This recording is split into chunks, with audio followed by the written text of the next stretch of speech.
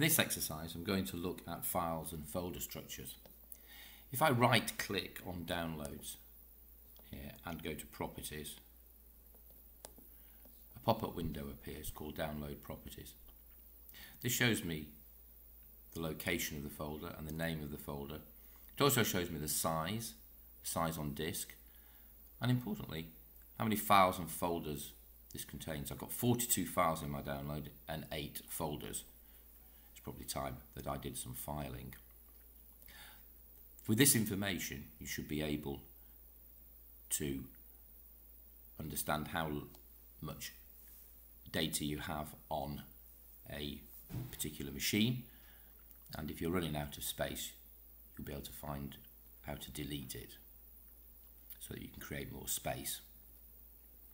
You can now do the exercise called folder structures.